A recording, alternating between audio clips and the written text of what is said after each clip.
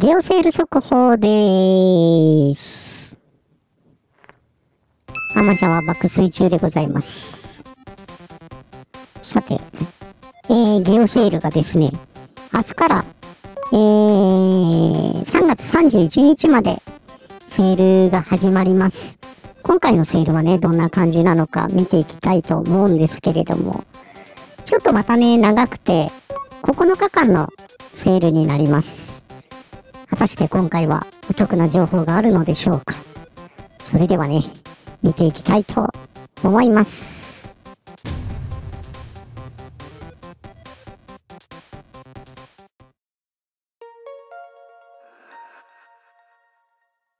それではね、ゲオセール見ていきたいと思います。先ほども言いましたけれども、3月の23日から3月の31日までのセールとなっております。それではね、セールの情報を見ていきたいと思います。チラシなんかもね、ホームページで見れるんで、もし興味がある方は見てみてください。えー、マリオ RPG ですね。えー、こちらはですね、ネット相場通りですね。ネット相場通りぐらいの金額になっております。まあ、税込みで考えてネット相場通りぐらいですね。で、あの、すいません。ここの大きな赤字で書いてあるのは税抜きになってますんでね、注意してくださいね。えー、集まれ、動物の森。えー、こちらはですね、これもネット相場通りですね。クライシスコア、ファイナルファンタジー7ですね、リユニオン。こちらがですね、ゲオの方が400円ぐらい高いかな、という価格になっています。で、モンスターハンターライズですね。えこちらがですね、えゲオの方が200円ぐらい高いかなっていう感じです。マリオラビッツギャラクシーバトル。えー、こちらがですね、えー、ゲオの方が100円ぐらい安いかなっていう感じになっております。次がですね、えー、スーパーマリオ 3D ワールドプラスフューリーワールドですね。こちらがですね、ネット相場通りぐらいですかね。ポケットモンスタースカーレット。えー、こちらがですね、えー、こちらもネット相場通りですね。えー、ゼルダの伝説ブレス・オブ・ザ・ワイルド。え、こちらがですね、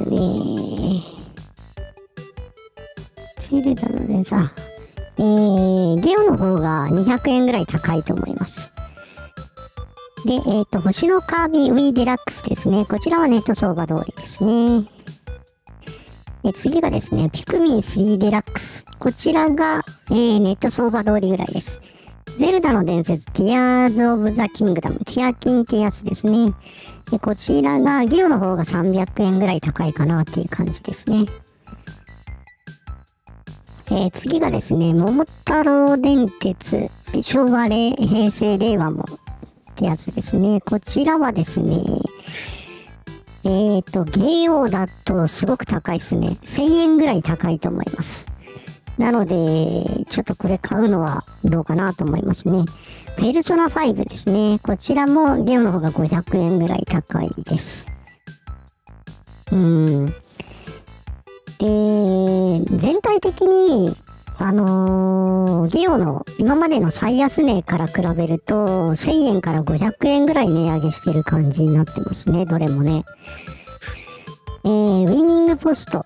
えー、こちらがですね、こちらは最安値、過去の最安値と変わってないんですけど、ネット相場通りですね。で、大乱闘スマッシュブラザーズ。こちらも500円値上げしてるんですよね。で、そのため、えー、まあ、500円弱、えー、高くなってます。ネット相場よりもね。次がね、プレイステーション5ですね。え、こちらがですね、えっと、スパイダーマン2ですよね。こちらが、えー、っと、ネット相場通りぐらいですかね。で、次が、ファイナルファンタジー16。えー、こちらが、えっ、ー、とね、過去の最安値、ゲオの最安値より1000円高くなってるんで、ネット相場も1000円高くなってます。なので、あのー、ゲオで買うとちょっとお得感がない、ないですね。うん。ネット相場、ネットで買った方がいいと思います。グランツーリスモ7ですね。こちらはネット相場通り。次がですね、ワイルドハーツですね。ワイルドハーツも、ゲオの最安値から1000円高くなってるので、でもネット相場も安くなってきてるんで、300円ぐらいゲオの方が高いかなっていう感じですね。えー、ウーロンホールダイナスティ、えー、こちらがですね、これもゲ,、えー、ゲオの最安値より1000円値上げしてきているので、でもネット相場が下がってきているので、それでもゲオの方が500円ぐらい高い相場になっています。えー、で、次がですね、バイオハザード、えー、リメイクの4ですね。こちらは最安値よりも値上がってはないので、えー、ゲオの方が400円ぐらい安いかなという感じですね。えー、アサシンクリードミラージュ、えー、こちらはゲオの最安値もう今までと一緒なんですけど、500円弱ぐらいゲオの方が高いですね。じゃ次ですね。ゴースト・オブ・ツシマのディレクターズカット版ですね。こちらは、えー、ゲオの方が、えー、500円ぐらい高いかなっていう感じになってますね。そうですね。地球防衛軍6。こちらはネット相場通りです。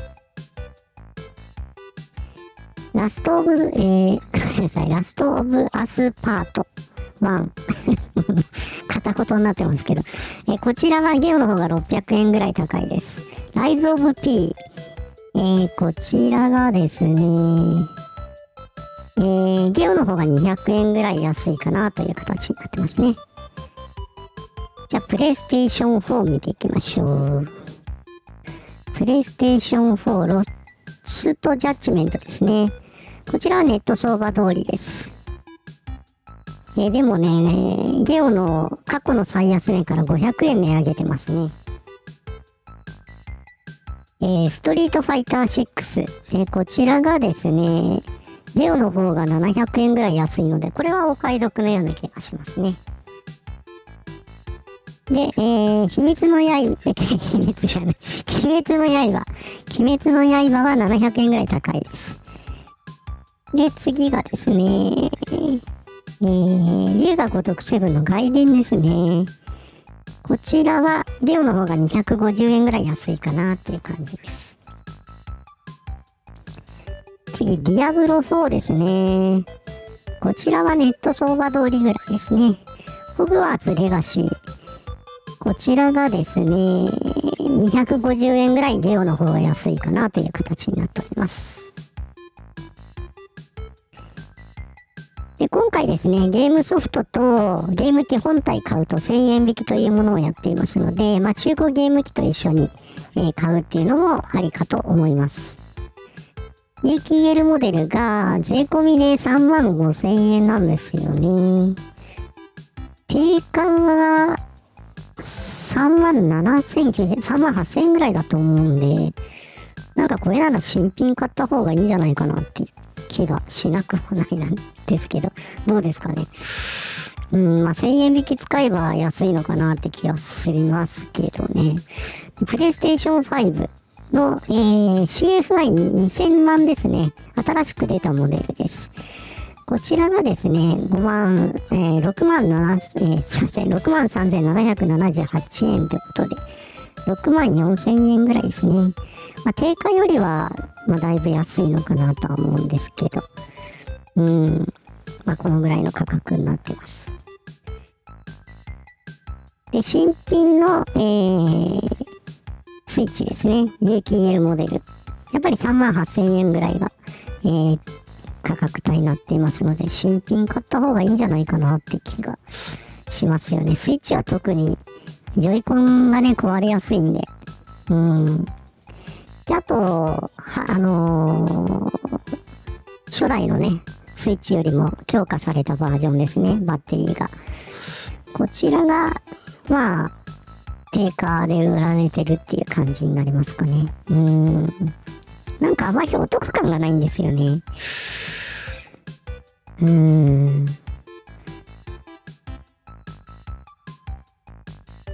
乗り換えキャンペーンとかやってますね。スイッチの昔のやつから有機 EL とかに乗り換えると買取2000円アップなのかな？ってなってますね。で、3月24日までのお得なキャンペーンということで、新品のプレイステーション5各種と PS5 のソフト、新品を買うと3000円引きというセールをやってで、新品のプレイステーション5の価格がこのぐらいですね。6万7000円ぐらい。うん。まあドライブ付きだからね。まあドライブ付き買った方がいいですよね。で、これでプレイステーション5、えー、プレイステーション4ですね。えー、を売ってしまうっていうのは確かにありですよね。うん。これ PS4 のゲームは動きますんで、PS5 ならね。まあ、動かないものもあるかもしれないですけど、基本的には動くという商品になってます。あとは、変わらないかな。というわけで、えー、よいしょ。ゲオのね、セール情報になります。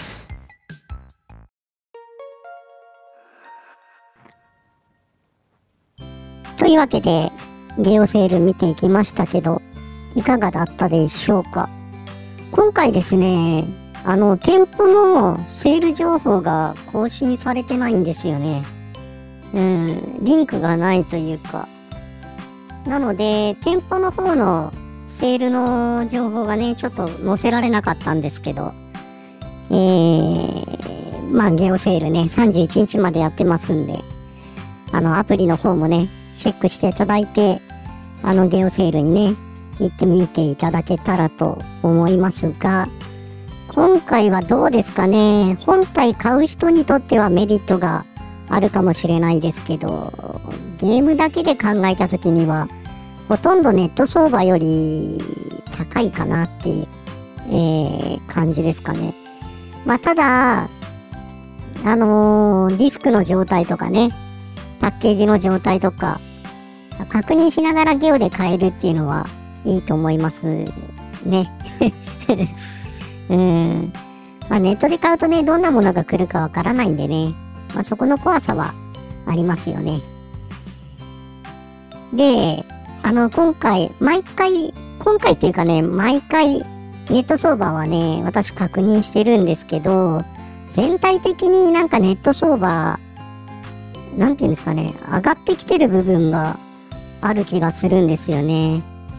あの、先月に比べて、ね、あの、ネットの相場もね、数百円値上がってるものが多かったなっていう印象でございます。